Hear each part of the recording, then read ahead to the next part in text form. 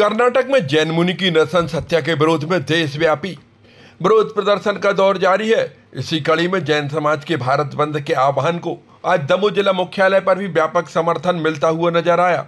वहीं जैन समाज के द्वारा विशाल मौन जुलूस निकाला गया, जो नगर के प्रमुख मार्गों से होता हुआ कलेक्ट्रेट कार्यालय पहुँचा, जहाँ पर बड़ी संख्या में समाज जनों के अलावा विभिन्न समाज के प्रतिनिधियों की मौजूदगी में, बड़ी संख्या में महिला वर्ग की मौजूदगी में देश के महामहिम राष्ट्रपति महोदय, प्रधानमंत्री महोदय, राज्य कर्नाटक के मुख्यमंत्री महोदय के नाम पर एक ज्ञापन, सकल दिगंबर जैन समाज के अलावा विश्व हिंदू परिषद बजरंग दल सहित अन्य संगठनों के द्वारा सौंपा गया। इस दौरान वक्ताओं ने अपनी बात रखी और अहिंसक जैन समाज के संतों के साथ जिस प्रकार का बर्ता हो रहा है उसको लेकर घोर आपत्ति जता गई इस बात के प्रति खेद प्रकट किया है।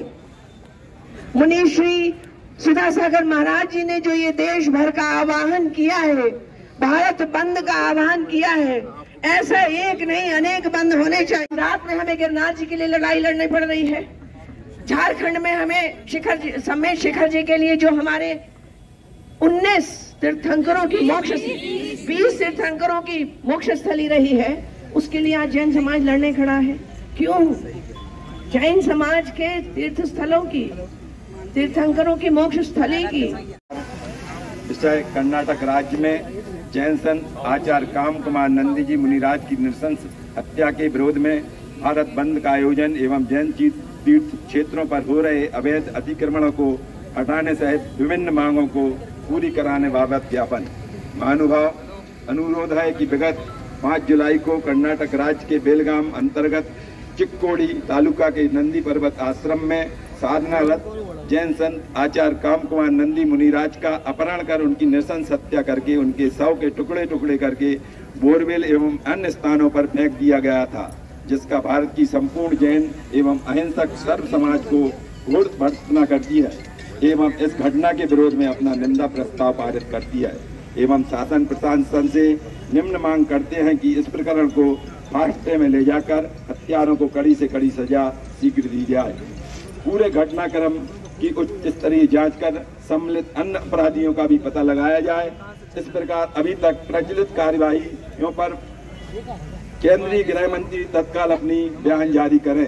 भारतीय संविधान में अल्पसंख्यकों को दिए गए संवादिक संवैधानिक अधिकारों के तहत राष्ट्रीय एवं राज्य जैन आयोग का गठन हो, जिस जैन हित में जुड़े मुद्दों पर सुनवाई के पूर्ण न्यायिक अधिकार हों। एक साधु की हत्या कर दी जाती है और टुकड़े टुकड़े करके फेंक दिए जाते हैं। यह कानून व्यवस्था जो दर्जा हो रही है, वह लोग दोषी और मैं तो ये कहना चाहूँगा कि सरकार किसी की भी हो, कोई भी हो, केंद्र में बैठी हुई सरकार को ये सारी चीज़ें देखना चाहिए। केंद्र में बैठी हुई सरकार को ये भी व्यवस्था करना चाहिए कि साधु संतों के स्थानों पर जहाँ वह बैठते हैं, वह सुरक्षित रखे जाए और वहाँ पर पुलिस व्यवस्था भी की जाए, ताकि वह अपने जो उनके चीज़ें होती हैं, साधु संतों की जो क्रियाएँ होती हैं दिनचर्याएँ होती हैं, वह अपने ढंग से अपने हिसाब से कर सकें। सरकार दोषी है और